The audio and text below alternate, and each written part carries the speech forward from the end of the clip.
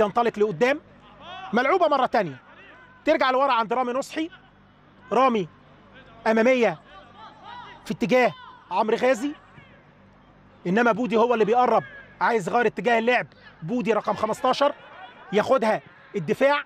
أدي تمريرة أمامية. يضربوا بيها المنطقة الخلفية. حسين الشحات ممكن جامدة. يشمعها في سقف الشبكة. سباعيه أهلاوية. حسين الشحات يسجل سابع الأهداف في لقاء النهارده. ويكمل المجهود اللي عمله بالتهديف في الدقيقة 86 يبقى حسين الشحات بيسجل مع الدقيقة 87 حطها جامدة إنما تمريرة حلوة قلت ضربوا بيها الخط الخلفي بالكامل. أدي اللعبة من أولها. وادي حسين والكرة جاية له. واخد القرار سندها وحطها. ما يقدرش يعمل لها أي حاجة. الوكيل جول جول جول للنادي الأهلي. 7 1 كريم فؤاد.